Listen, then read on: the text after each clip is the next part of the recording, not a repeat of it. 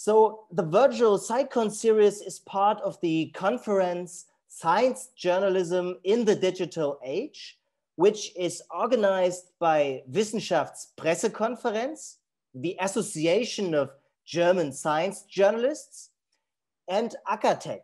This is the German National Academy of Science and Engineering.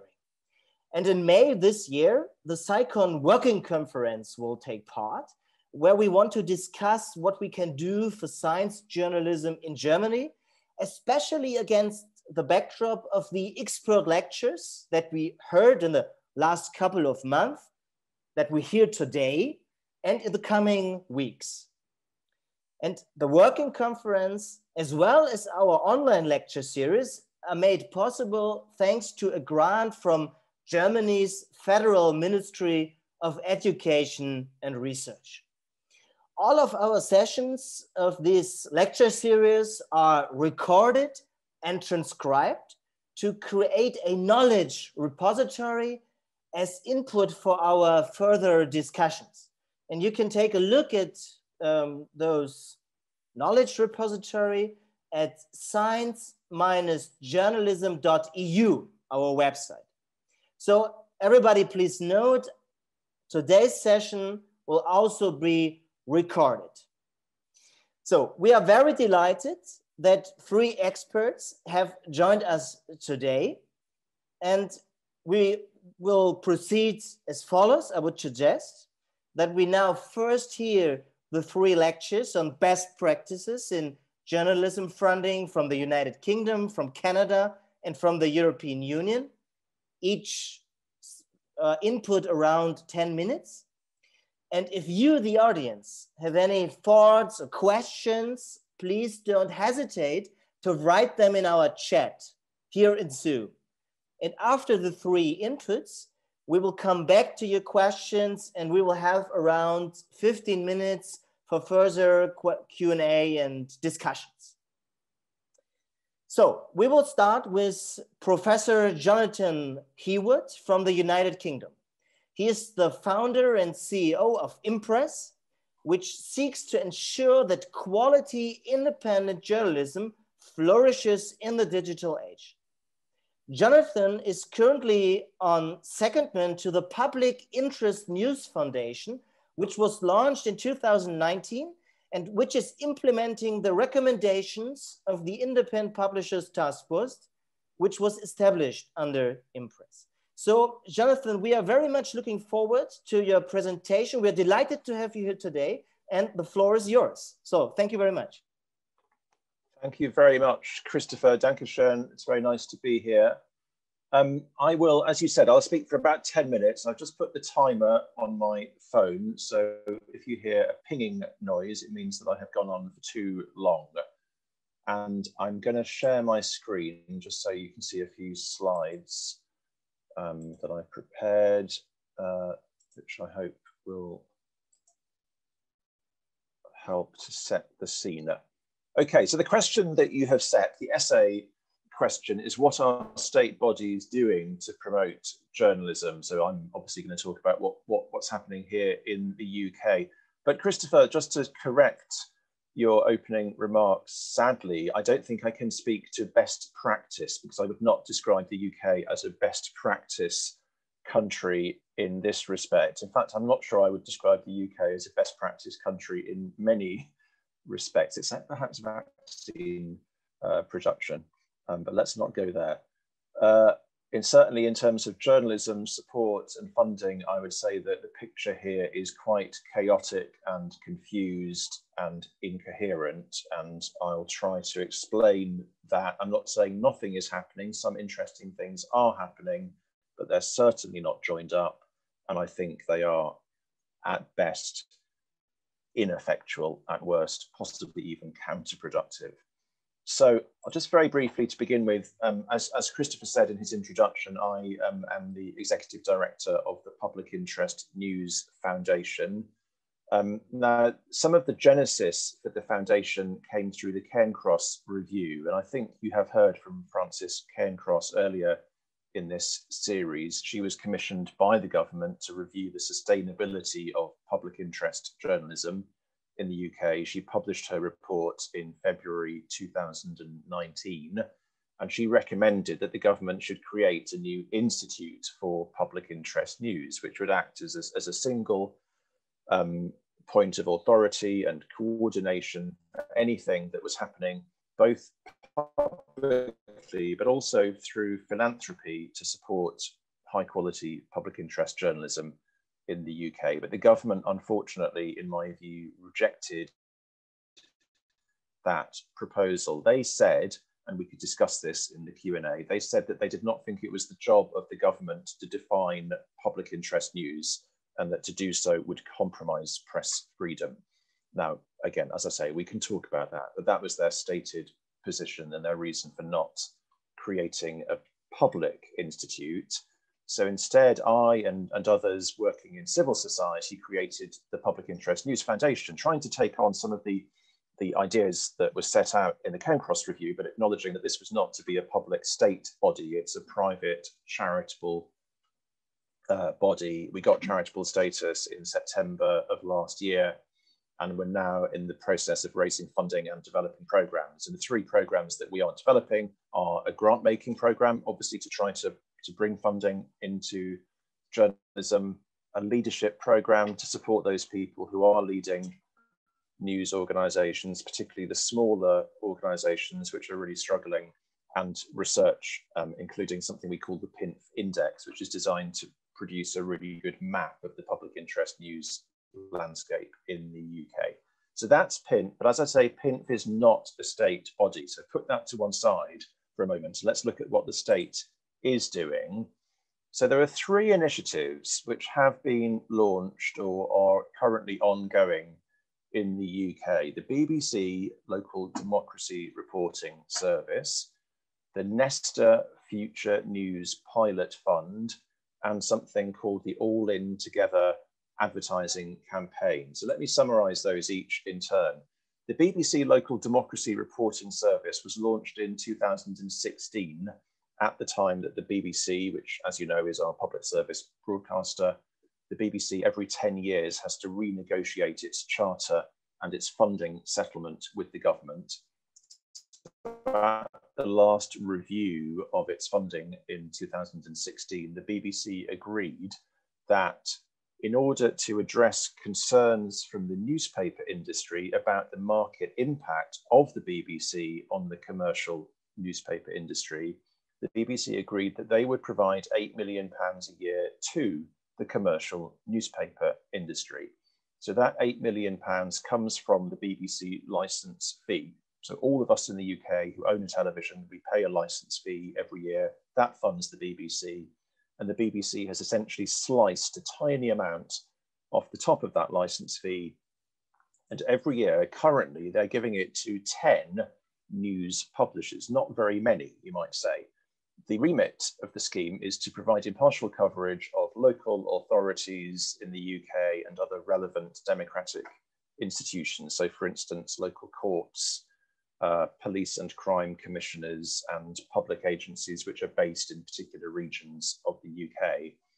Through the funding, um, the BBC is supporting 149 local democracy reporters. Now, these reporters are employed by the newspaper companies. The BBC gives the money to the newspaper company the newspaper company then employs one or more of these reporters in each of the different regions and localities of the UK, and they then go out and report on the local council. So it's an important piece of the democratic work of local journalism, which at the moment the market is failing to provide. So the BBC is subsidising that.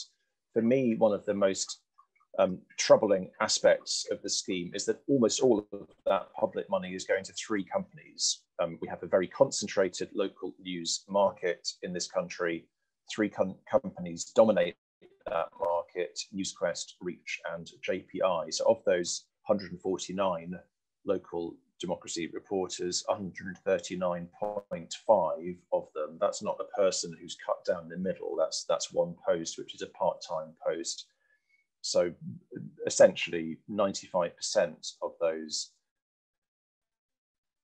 contracts go to those three companies.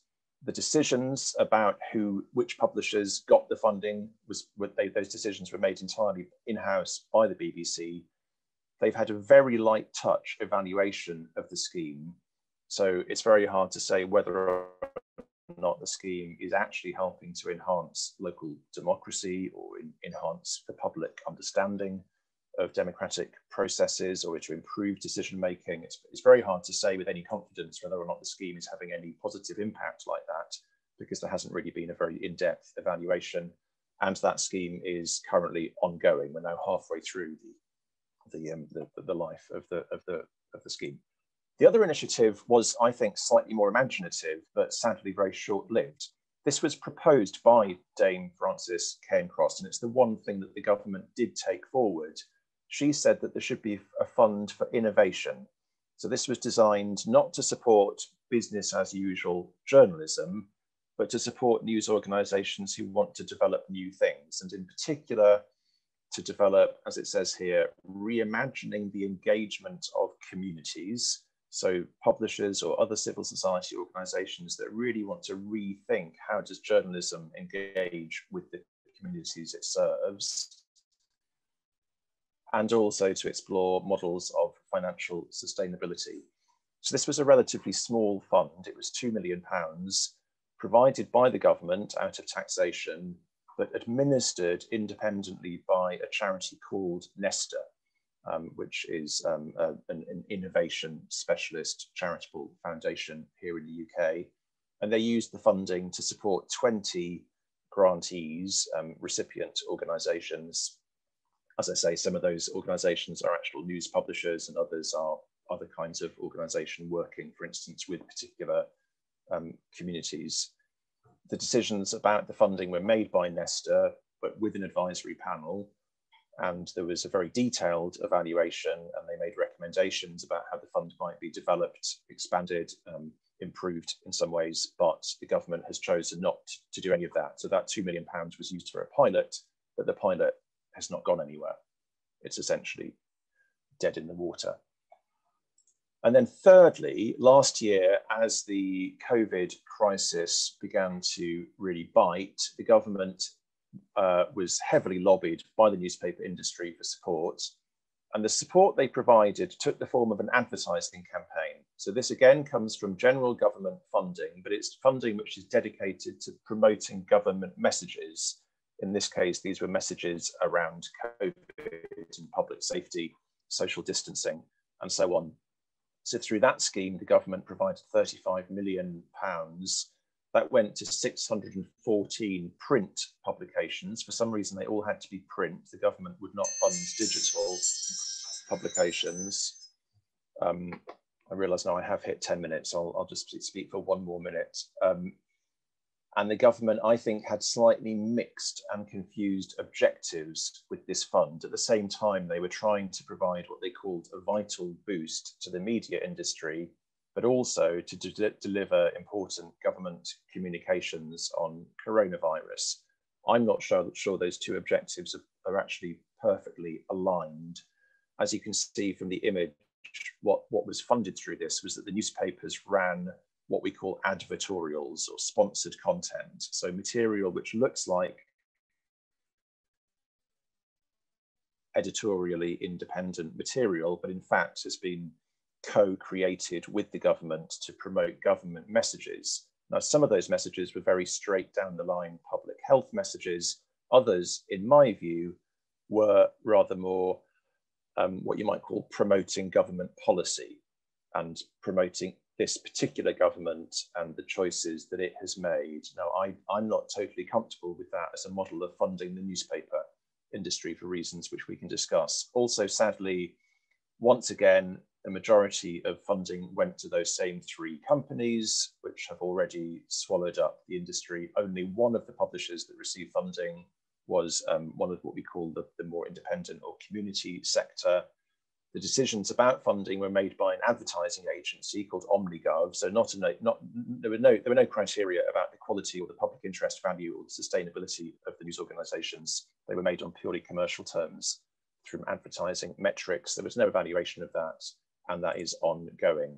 so I would just say in, in conclusion that the, that the, reasons that I'm unhappy with the state of affairs in the UK is that there is no there are no clear objectives. Um, the image here is a black hole. I mean, the, the, idea is that there, the government is putting money into this, but it's kind of going into a black hole. We don't know where it's going. We don't know what impact it's having. So the lack of objectives, if there were to be objectives, I would say they should be focused on sustainability, on the public interest, and on diversity in the media we desperately need independent decision making and evaluation. And we really need a multi year commitment. We can't have stop start initiatives which run for six months and then they're discontinued because it's a huge waste of everybody's time trying to meet those criteria and then having to make up something new the following year. So I will stop there. Thank you. Thank you so much, Jonathan, I'll for the sharing. insightful overview of what is happening in United Kingdom. And um, uh, perhaps not best practice, as you said, but let's see if Canada does a better job. And let's proceed um, to Professor Karyn Pugliese. Um, she's professor at Ryerson University School of Journalism in Toronto, Canada. And she's also the past president of the Canadian Association of Journalists. In 2019, the Canadian government announced it would provide almost 595 million Canadian dollar over five years in incentives to Canada's ailing news media. And um, Karyn will speak about uh, this controversial topic in Canada now. So we are very much looking forward to your um, lecture.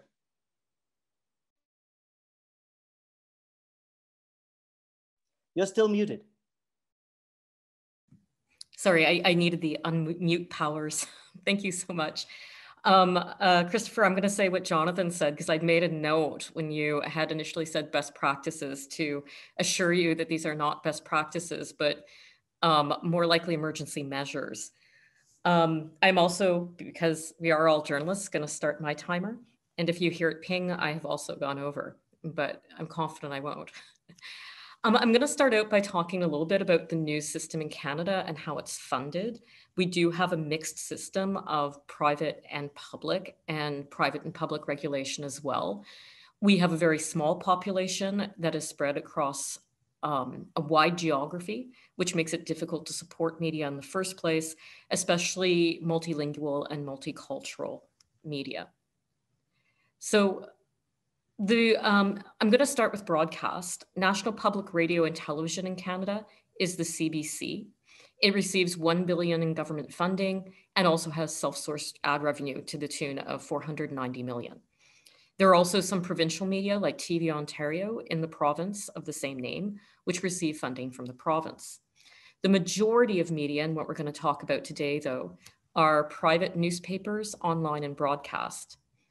In the online media, there are both the legacy media, so those old radio stations, those old broadcast broadcasters and newspapers that have always been around that are now also extending themselves online, and new players. As these shakeups started to happen in the media industry and people were laid off, some of these new players opened up. They tend to be small, little mom and pop newsrooms that have moved in to fill in spaces where beats were dropped or uh, localities were dropped as legacy media shut down and laid off reporters. Um, all newspapers and online media, except for CBC Online, are funded uh, privately through a mixture of ads, subscriptions, or crowdfunding. I'm going to stick with broadcast and private broadcasters for a second, uh, because the broadcast system in Canada may be different than in your country we have um, a public but arm's length government regulator for radio and television called the CRTC. The CRTC will license radio and uh, television stations, and it holds hearings and creates mandates for service. So if there is one radio license available, people who want that license will compete for it, arguing that they will provide a superior service. Members of the public will intervene to advise the CRTC on what the best service should look like, this may include terms like offering daily news, service in a language that is not currently served in the region, etc. The CRTC decides who, if anyone, should get a license. In the case of radio licenses, that is all, because private radio is almost entirely funded through advertising.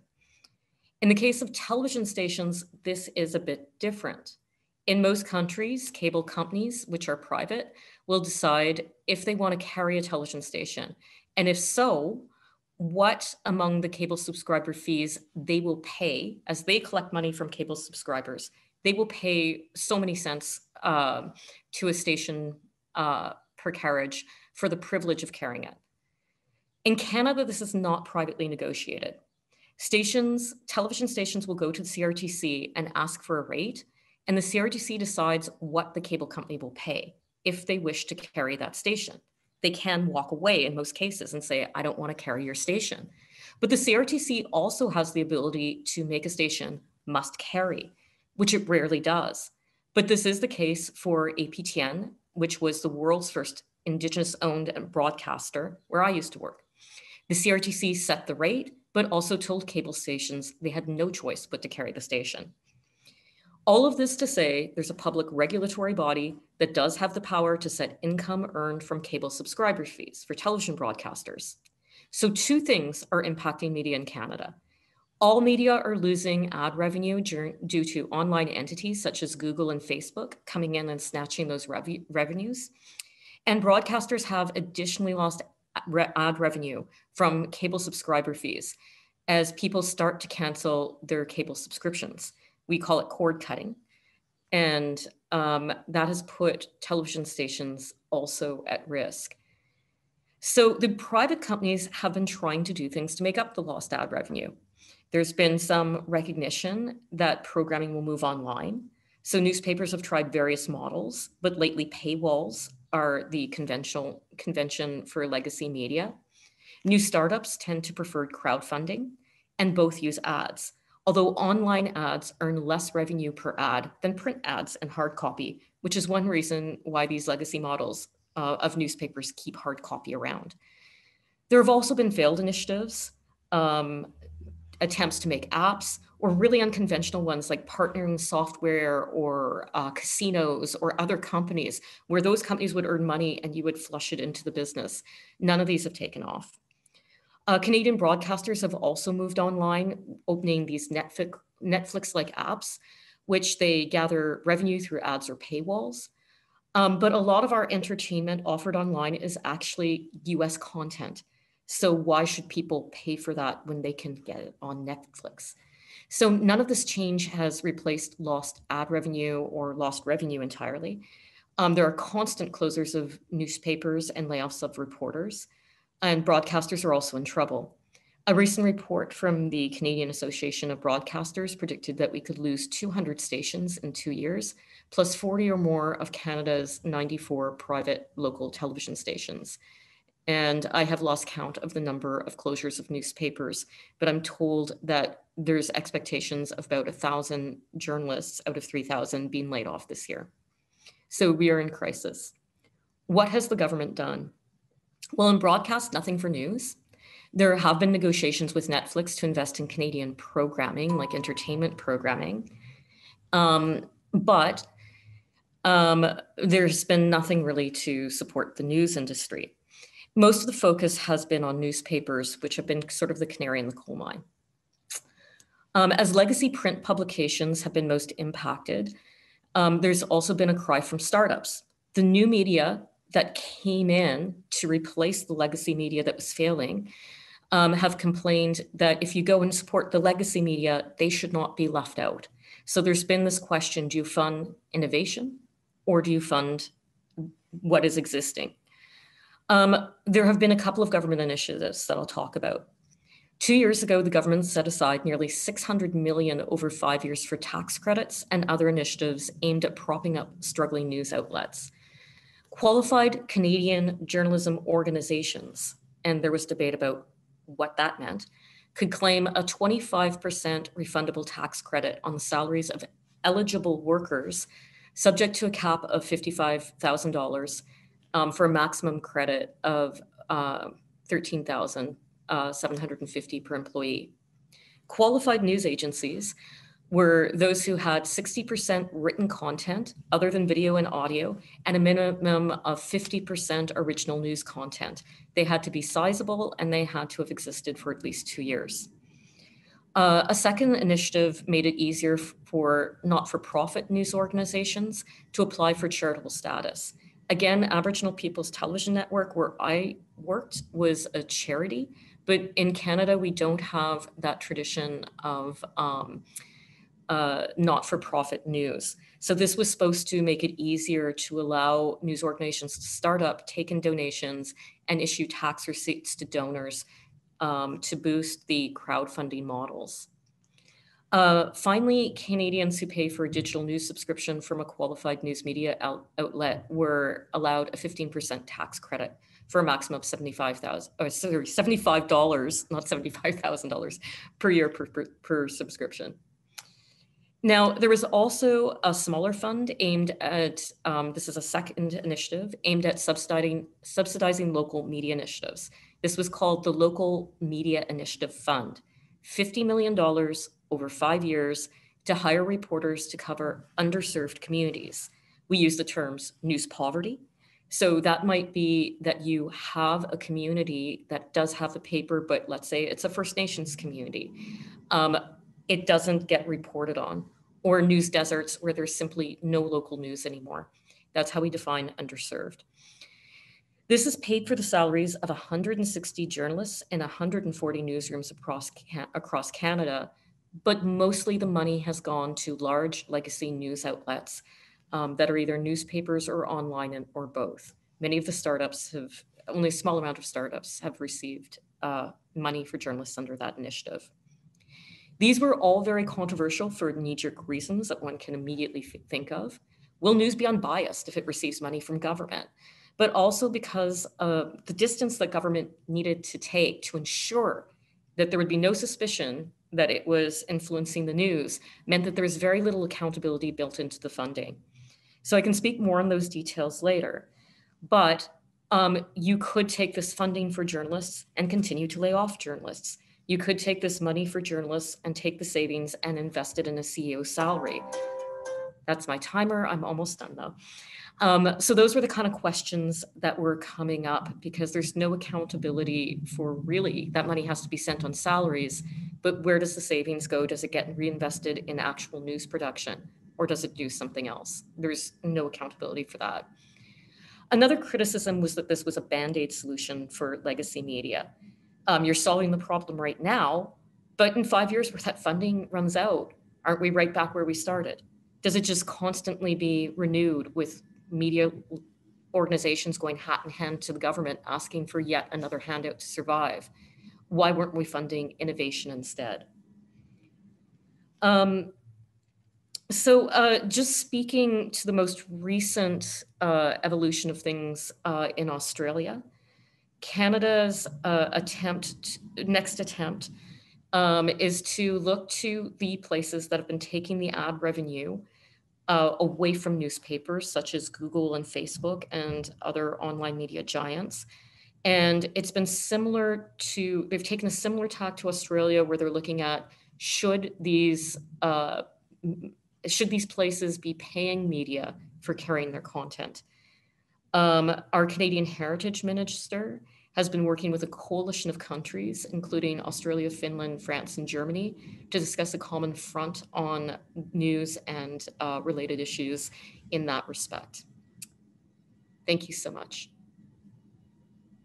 Thank you, Karyn, for drawing this very illuminating paper, uh, uh, um, uh, picture of the situation in, in Canada and um, for joining us today, for being here today. Thanks.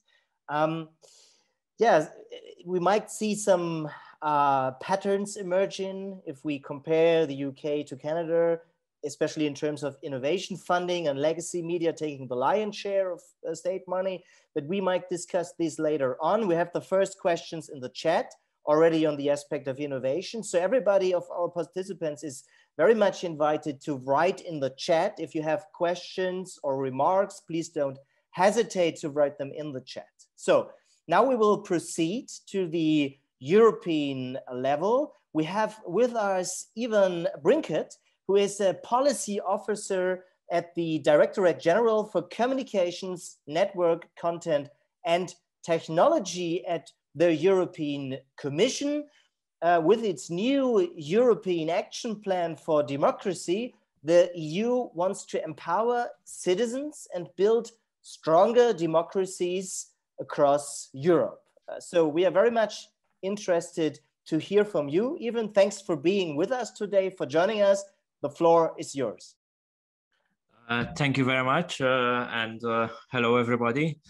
Uh, I also set my timer. Uh, I hope I will not exceed the 10 minutes, but probably I will, seeing the experience from the from the previous speakers. what I what I want to start with is that unlike the previous speakers, uh, I'm I'm working in policy, so maybe uh, the criticism will come uh, at a later stage uh, in your Q and A, uh, and I will uh, then happily try to to respond. and again, our starting point. I work in in the unit responsible for the Creative Europe media program. now, the media program is uh, is a bit misleading uh, because the acronym uh, stands for support to the to the audiovisual uh, industry. But for the first time, uh, the Creative Europe program, uh, when it will be adopted, will have support to to news media, which why which I will come back at a later stage. I think and we, we can all agree 2020 was definitely a transformative year uh, for for everybody. And for media it was definitely no exception. Uh, we had the covid-19 pandemic uh, and the accompanying uh, infodemic uh, a flood of misinformation and disinformation which exposed a lot of vulnerabilities in our societies and the need for action and the European Commission uh, adopted a number of actions linked to media uh, in December. Uh, and uh, uh, while the purpose of this talk is to is to speak mainly about the funding instruments, I think we need to look at maybe the wider context first. So I would like to start with the with the European Democracy Action Plan, which was adopted in December 2020 uh, together with the first ever uh, media and audiovisual uh, action plan. In terms of the Democracy Action Plan, uh, the aim, of course, is to make our societies more resilient and better prepared for the future, and our democracies more resistant to the spread of disinformation.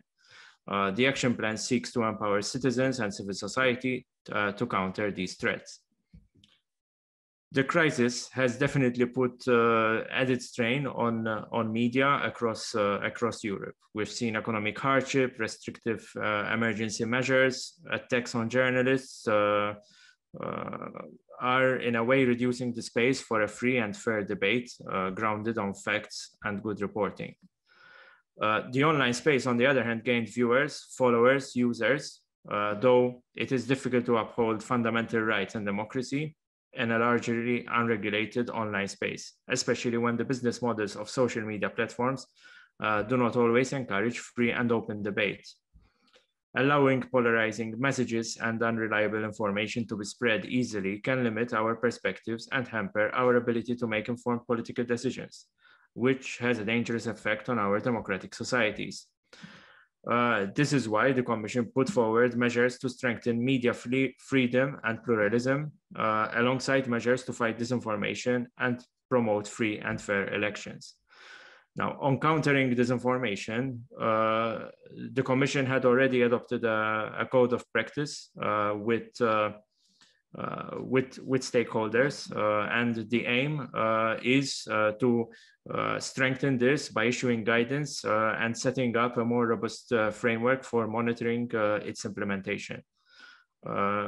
again, uh, and I speak from uh, from my, my experience. As, as I said, uh, I unlike the previous speakers, I'm I'm working in policy, though I started my career in, in journalism. So I think uh, again, I can I can understand and recognize the uh, the, the perils and the difficulties uh, of of public organizations to to deal with with the issue.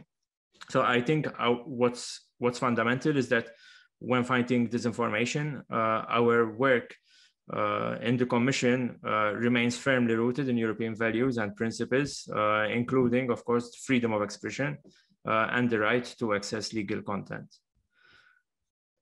Now, uh, I will turn uh, to what is uh, the core of of this talk, which is the funding for for journalism and de facto the media and audiovisual action plan. here, again, media freedom and pluralism uh, is also being threatened by economic factors. Uh, it's uh, it's clearly a fact that uh, the the media, the news media sector is uh, is suffering, is struggling. We've seen a dramatic fall in advertising income. Uh, over, it's been coming. You could say it's it's an accelerating trend. Uh, and uh, this accelerating trend, uh, because of COVID, has accelerated despite the fact that audiences and readers have increased. So the plan aims to support the media sector's recovery and at the same time address the, uh, the digital transformation and overall competitiveness of the, of the sector. And it focuses on three areas, uh, recover, transform, uh, and uh, to enable and, uh, and empower. Uh, now, in terms of recovery,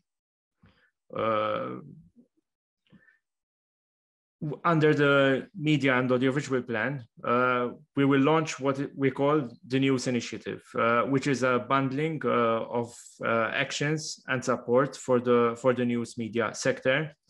Uh, one of this is uh, basically better access to finance through loans and the pilot equity initiative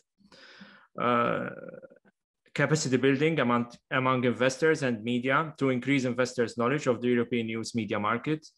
Uh, and here we're using uh, our experience, uh, which we've gained uh, in supporting the creative uh, industries. Uh, one of the issues we found is that financial institutions are not necessarily aware of the of the needs of the business models of the of the creative industries. Uh, so uh, we're basically helping to to build this capacity to to basically inform uh, investors, uh, foundations uh, on on the importance of of investing and of providing access to finance to, to the European news media market. Uh, as I said, uh, we're going to support news media and collaborative transformation through Creative Europe grants uh, for collaborative media partnerships. Uh, these grants will be available to test uh, new business models, uh, in particular local media, assisting media in developing their business and editorial standards, promoting collaborative and cross-border journalism, training and mobility of professionals, and sharing of best practices. Uh, this is the first time that Creative Europe program uh, will have dedicated calls for journalism partnerships. Before the uh, the action plan, we were already working also, uh, again, based on our experience in the audiovisual uh, industry uh, and also to aid in the in helping the sector to to to innovate uh, to create a tool that provides a clear snapshot of the funding instruments available uh, in, in the sector.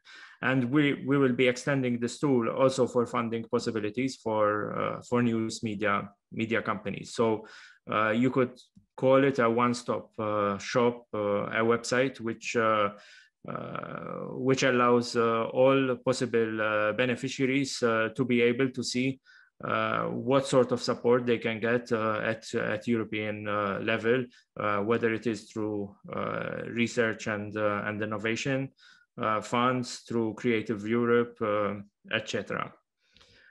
moreover, and I think uh, one of the strengths, again, uh, coming from our experience uh, in Creative Europe, uh, is uh, is to engage with uh, with the news media with in what we're calling a European News Media Forum. and what we want to do through this news media forum is to create a, a platform where again we can share best practice. We can we can create a space for for discussion. Uh, and the way we're seeing and uh, at the moment we're still uh, in the uh, embryonic uh, phase of uh, of devising how, and determining how the European News Media Forum will look like. but our thinking is that we'll we'll have a spring event which will focus on on journalists and normally an autumn event which will uh, focus more or on uh, industrial transformation uh, of the of the sector. Uh, that's my timer, uh, but I'll soon be, be ready. uh, so as, as I said, uh, the first uh, the first event uh, and it will take place uh, towards the end of March. So I'll be happy to provide uh, more information even by by email once the program is is ready. it will be regarding safety of journalists, and it will take place, as I said, at the end of this this month. and then towards the last uh, part of the third quarter or the beginning of the of the fourth quarter of of this year, we organized uh, uh, the more uh, industry focused uh, event. Uh, so bringing together stakeholders to discuss the needs of the of the industry. in conclusion, I think the logic of the Creative Europe program has always been uh, to focus on sector-wide uh, collaboration. So to bring uh, players from different parts of the of the value chain uh, together uh, to collaborate, to speak, maybe to scale up, uh, always in respect of editorial and creative independence. now, we are aware that uh, the new media part of Creative Europe, uh, which will be adopted uh, hopefully soon by the European Council and Parliament, uh, is is small. Uh, it's just nine percent of the of the budget uh, uh under the cross-sectorial strength, which is uh, which is also shared by other initiatives. But it's a start, and I think that's that that's the the message we want to to deliver. I think from a political point of view, there seems to be the willingness uh, to Uh, look at uh, the problems uh, faced uh, by the by the media sector, uh, and then the question, of course, will be on the how, respecting the the European principles. Thank you. Ivan, thank you very much for highlighting how the European Union uh, is trying to foster the European news media. Um, yeah, so everybody, thank you so much for joining us and for giving these very, very informative inputs. And now let's proceed with a Q&A and uh, discussion. So um, everybody of our participants is invited to raise your hand if you have a question and want to um, want to ask uh, uh, um, on, on uh, uh, uh, um, want to ask them or write in the chat. So we already have some questions in the chat. And um, I might begin with a question from Franco Zotta that is um, very much to the point, I think, because what he asked is, what should, um, what should state authorities do? So should they um, uh, particularly focus on innovation? So uh, help the new emerging organizations and innovative players? Or should they more focus on stabilization or transformation of the old legacy system? So where should government authorities uh, um, uh, jump in? So um, I don't know who might want to start, but just open the microphone and get going.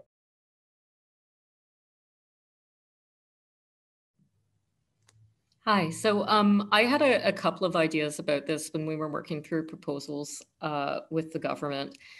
Um, I thought that they could do some stabilization um, to keep the legacy media sort of going um, on a short-term basis, uh, you know, while also funding innovation. And uh, I saw a question in the chat, what do you mean by innovation? There's so many ways to define in innovation in terms of journalism content.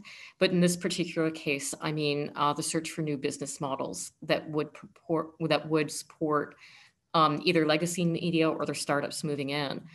One of the things that I had proposed is to create something that particularly funds um, new media that are trying out new ideas And we call this sometimes in economics the infant industry argument. So the idea is that you make a small amount of funding available or amount of funding available that might fund 100% of a project the first year, knowing full well that the next year it's going to be 50 and the next year it's going to be 20 so that you have a chance to try to get something working and you are slowly weaning off uh, government funding rather than having this perpetual business of going back every five years and asking the government to fund reporters and fund more and more reporters.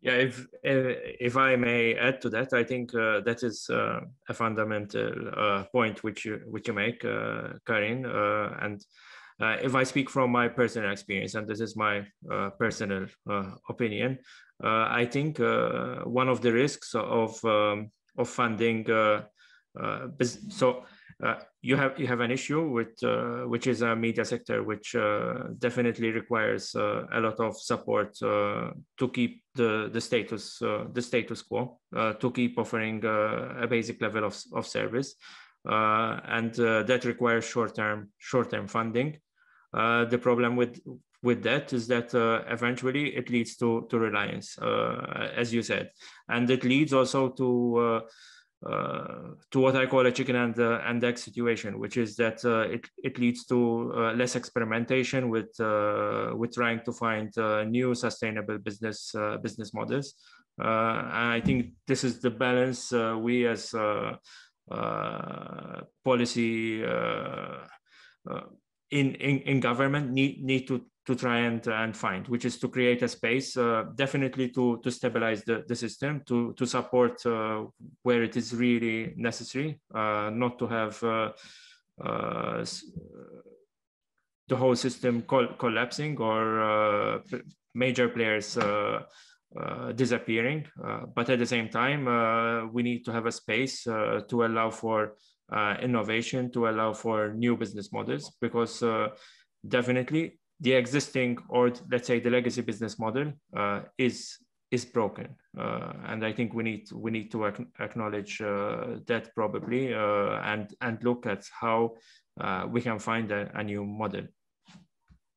Yeah but i would add to that to say that i think we have to recognize we're, we're living through a massive transition in the way that public interest media is is is, is paid for. Um, I mean, some say it's the biggest transition since the 1450s. I mean, let's let's slightly narrow our horizons. It's certainly the biggest transition since the Second World War, um, and it's going to take five or ten years to even begin to work this through. I think if you start from the perspective of the citizen and say, ultimately, what do we think citizens need? And I think they need high quality, accurate local news. They need high quality, accurate specialist news, for instance, science reporting, but also reporting on complex issues like religion, identity, the environment, and so on. And they need some choice. You know, we live in a society where people have very different values and, and worldviews and may not all want to consume the same kind of media. So I feel like ultimately, you know, the vision is of a very rich, diverse, but high quality media ecosystem. The likelihood is that that will have some commercial revenue. There may be new commercial business models. There may be more philanthropic funding, and there may be a greater need for ongoing state funding where there simply is not a commercial or philanthropic model to support the kind of news that citizens need. But we don't, we can't say right now what the ideal balance is or where the funding should go. We need to find a way of, you know, creating enough space over the next 10 years to let the industry find its way forward give it the best chance, of, I think, of finding non-state forms of support because they do tend to grant greater independence to the media, but be very realistic about the likelihood that there will need to be greater state funding beyond that. So everybody is invited to post uh, questions to the chat. Uh, we have a question from Niklas Boop who asks, what do you think is innovative media? That obviously is a very relevant question. And I wanted to connect it to the question how to find innovative media projects to support. I mean, in the UK, Jonathan, you said that the Nesta News Future Pilot Fund has been discontinued. Um, in, in Canada, we have the situation that these 600 million Canadian dollars are uh, given away based on very clear qu quantitative criteria like 60% of written content and these kind of things. Innovative innovativeness is really hard to um, yeah to observe or how to define it. Uh, so I, I wondered um, if you have any take on that. So how to define what is innovative enough to be supported by such state authorities so what are measures? How can governance work here so I have such a good. example. Oh, I'm sorry. Did you want to go ahead, Jonathan? Go on. No, no, no. Please go on. Okay, I went first last time. it's like you can tell I'm in broadcast. Maybe it's like sorry. I, I, just have such a good example of this um, in Canada. So um, you're right. One of the things that wasn't supported, for example, was podcasts. And one of the uh, innovative podcasts that popped up, and I say popped up because that's actually the new business model, was um, a, an entity called Sprawl. Um, it was created initially to cover a local election that was not receiving coverage. It was in a news desert. And so it popped up and said, We are going to exist for the time that this election is going on, and then we will cease. And they did, but people kept funding them. They were completely sourced through crowdfunding. So they said, Okay, what is the next topic that is going to come up that is not receiving coverage that needs to be served in this community? And then they came back and they covered that for uh, an amount of time while that was going on. And then it shut down. And they have not been supported any way by any government initiative and do not qualify because they're neither big enough and because they're audio and not print and don't fit any of the definitions. Yeah, I was going to say, Karyn. I mean, that's that's a really good example. There's another example I like in the states where some uh, of the non-profit news organizations have been really going back to first principles and saying, let's not assume that we know what information our communities need or how they want to get it. Let's actually do this extraordinary thing of asking them what do they not know that they would like to know and how would they like to receive that information. So there's an outfit called um, Outlier Media in Detroit which concluded that, that the kind of communities that they want to serve, particularly those underserved, underrepresented communities, their primary concern is housing. They are at the mercy of an incredibly complex housing, public housing system. And the way they like to get information is through SMS, through text messages. So Outlier Media said, fine, that's what we'll do. We, we won't write 500 word online news stories. We won't produce 25 minute bulletins on broadcast, we'll send out text messages with, with updates. So I think that's a really interesting kind of innovation where you just you just forget everything you already know and try and,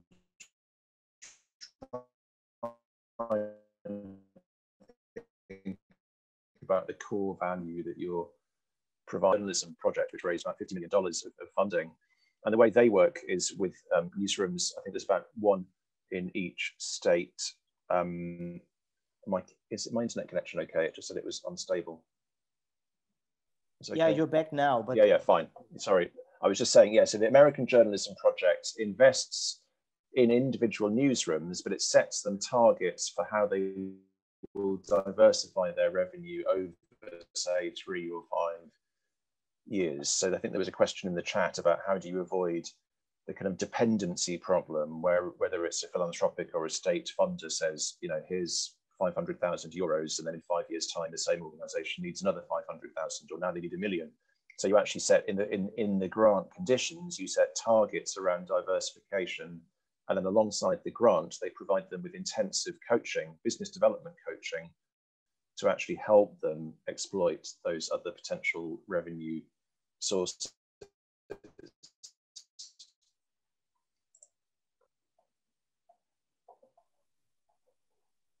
Yeah, um, Jonathan, um, you might want to answer the question from Franco Zotta from the chat who asked if these, the Nesta Fund, uh, was that a prototype for meaningful government innovation funding from your perspective? Yes, Franco. Yeah, it's a good question. Up to a point, my, my only concern with the Nesta Fund was it was almost excessively focused on innovation. And I do worry that there can be a point when you're funding innovation for the sake of innovation. And some of the people in the sector said, for God's sake, you know, we we don't need new we know what the we know what our needs are. We don't want funding to develop and explore new models. We have a model, we just need a specific bit of investment to help us to exploit the model that we have. So for instance, many people in the UK are very confident that there is a subscription-based revenue model that they could develop.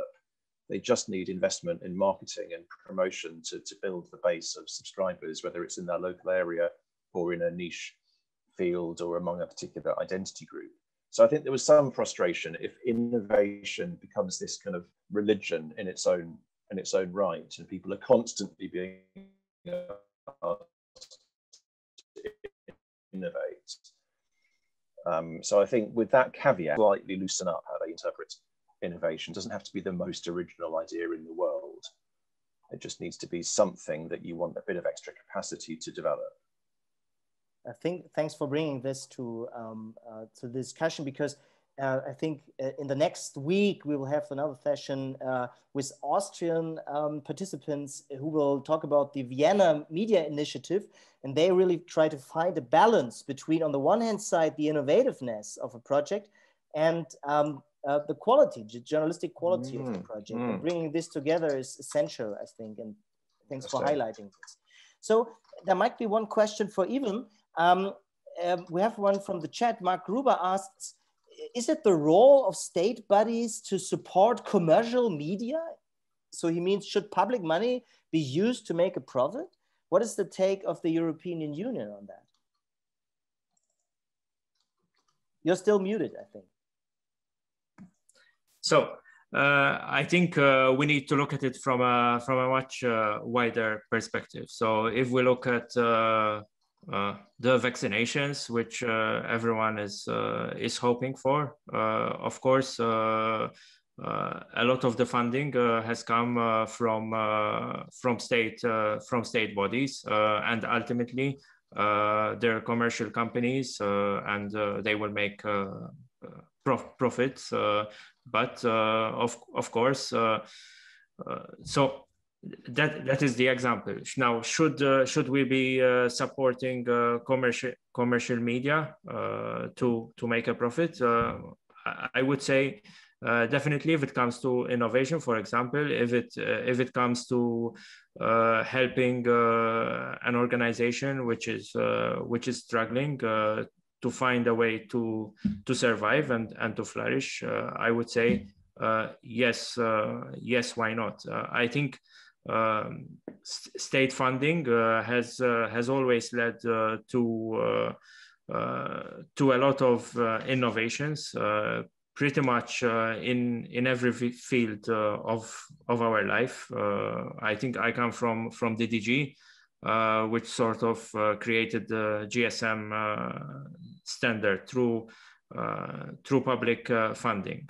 so uh, again, I, I don't see a problem with uh, with private organizations making uh, money uh, as long as the public money is uh, is used uh, transparently, is is used not. I think I saw a, a, point there, not to bolster the, the salary of a, of a CEO, but to to do something meaningful. and then if the if the company or companies uh, manage to innovate and uh, make a profit, so be it. Okay, so I think we are perfectly in time. Um, I think uh, uh, we like to thank you all three for joining us today.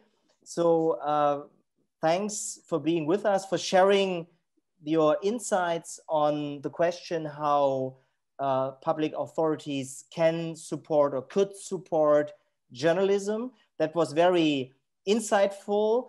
And uh, I'd like to point your attention to next week's lecture series. Uh, we will have another lecture on next uh, Thursday, the 18th at uh, 3 p.m. Central European Time. And we will add further perspectives on how state bodies can promote journalism in the digital age and we will hear perspectives from Denmark, the Netherlands, and Austria. And you're all very much invited to join us next week. Uh, that will be also very informative. If you would like to inform yourself or register for these um, for the next uh, conference, then uh, click on www.science-journalism.eu. So thanks everybody. Thanks to our three guests and to everybody who organized that. And see you next time again. All the best. Bye-bye. Thank you so much.